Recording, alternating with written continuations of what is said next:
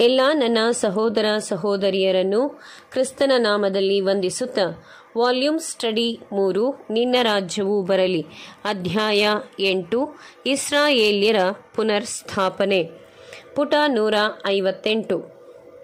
ಪ್ರಾಯಶ್ಚಿತ್ತ ಪಶ್ಚಾತ್ತಾಪವಿಲ್ಲದೆ ರಕ್ಷಣೆ ಇಲ್ಲ. ರಬ್ಬಿಯರ ಕಲ್ಪನಾ ಕಥೆಗಳನ್ನು ಓದುವ ಬದಲು ಯಹೂದ್ಯರು ಸತ್ಯವೇದವನ್ನು ಓದಿದರೆ ಅವರುಗಳು ನಿಜವಾದ ಮೆಸ್ಸಿಯನಾದ ಯೇಸು ಕ್ರಿಸ್ತನನ್ನು ಒಬ್ಬ ಆಶೀರ್ವದಿತ ವ್ಯಕ್ತಿಯಾಗಿ ತನ್ನನ್ನೇ ಪಾಪ ನಿವಾರಣೆಯ ಈಡುಬಲಿಯನ್ನು ಸಮರ್ಪಿಸಿದ್ದಾನೆ. ಇದನ್ನು ಅವರುಗಳು ಹುಂಜವನ್ನು ಅರ್ಪಿಸುವುದರಿಂದ ದೊರೆಯಬಹುದೆಂದು ಭಾವಿಸಿದ್ದಾರೆ.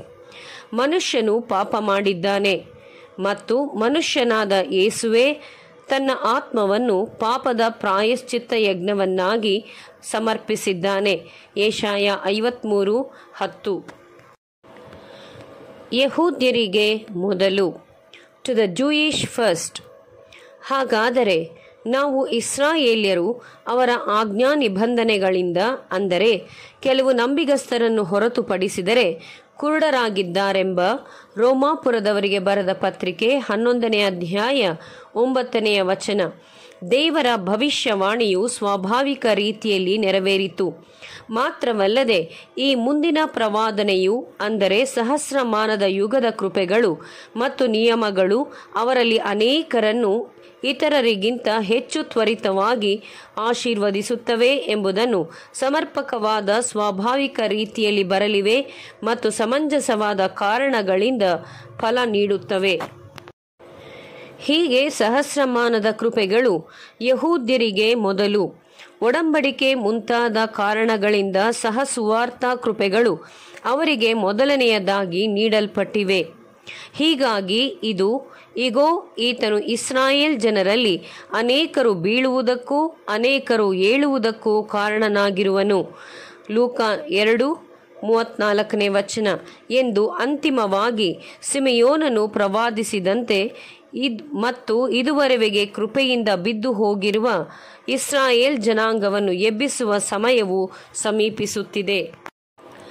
ಆದರೆ ಈ ವಾಗ್ದಾನಗಳನ್ನು ಬೆಂಬಲಿಸುವಂತೆ ನೋಡುವ ಇದಾದ ಮೇಲೆ ನಾನು ಹಿಂತಿರುಗಿ ಬಂದು ದಾವೀದನ ಬಿದ್ದು ಹೋಗಿರುವ ಗುಡಾರವನ್ನು ಎತ್ತುವೆನು.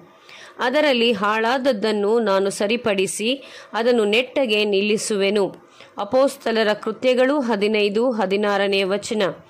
ಆತನು ಮಹಾಪುರುಷನಾಗಿ ಪರಾತ್ಪರನ ಕುಮಾರನೆನಿಸಿಕೊಳ್ಳುವನು. ಇದಲ್ಲದೆ ದೇವರಾಗಿರುವ ಕರ್ತನು ಆತನ ಮೂಲಪಿತನಾದ ದಾವೀದನ ಸಿಂಹಾಸನವನ್ನು ಆತನಿಗೆ ಕೊಡುವನು. ಲೂಕ ಒಂದು, ಮೂವತ್ತೆರಡನೆಯ ವಚನ. ಮತ್ತು ನನ್ನ ಸೇವಕನಾದ ದಾವೀದನು ಅವರಿಗೆ ರಾಜನಾಗಿರುವನು. ಅವರೆಲ್ಲರಿಗೂ ಒಬ್ಬನೇ ಪಾಲಕನಾಗಿರುವನು. ಅವರು ನನ್ನ ನಿಯಮಗಳನ್ನನುಸರಿಸಿ ನನ್ನ ವಿಧಿಗಳನ್ನು ಕೈಗೊಂಡು ಆಚರಿಸುವರು.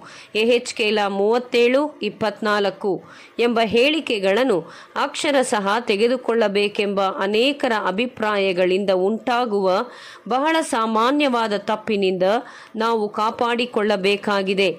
ಇಸ್ರಾಯೇಲರು ತಮ್ಮ ನಾಡಿಗೆ ಹಿಂದಿರುಗುವರೆಂಬ ವಾಗ್ದಾನದ ಅಕ್ಷರಾರ್ಥವು ಮತ್ತು ಎರುಸಲೇಮ್ ಎರುಸಲೇಮನ್ನು ಅದರ ಸ್ವಂತ ರಾಶಿಯ ಮೇಲೆ ಪುನಃ ಕಟ್ಟುವಿಕೆ ಇವುಗಳನ್ನು ಪ್ರಶ್ನೆ ಮಾಡುವಂತಿಲ್ಲ. ನಾವು ದಾವೀದನ ಮನೆ ಮತ್ತು ಸಿಂಹಾಸನವೆಂಬ ಅದು ಅಕ್ಷರಸಹವಾದ ಕಲ್ಲುಗಳು, ಮರದ ದಿಮ್ಮಿ ಮುಂತಾದವುಗಳು ಎಂಬ ಅರ್ಥವಲ್ಲದೆ, ಅರ್ಥವಲ್ಲ ಎಂಬ ಸಮಾನವಾದ ಭರವಸೆಯುಳ್ಳವರಾಗಿರಬೇಕು. ದಾವೀದನ ಮನೆಯ ಪುನಃಸ್ಥಾಪನೆಯು ದಾವೀದನ ಪೀಳಿಗೆಯಲ್ಲಿ ಯಾರಾದರೂ ಒಬ್ಬರಿಂದ ರಾಜ ಪದವಿಯ ಸಾಮ್ರಾಜ್ಯ ಪುನರ್ಸ್ಥಾಪನೆ ಎಂದು ನಿರ್ದೇಶಿಸಲಾಗಿದೆ. ಕ್ರಿಸ್ತ ಯೇಸುವು ವಾಗ್ದಾನ ಮಾಡಲ್ಪಟ್ಟ ದಾವೀದನ ವಂಶಸ್ಥನಾಗಿದ್ದಾನೆ. ಅವನು ಸಿಂಹಾಸನದ ಬಾಧ್ಯಸ್ಥನಾಗಿದ್ದಾನೆ.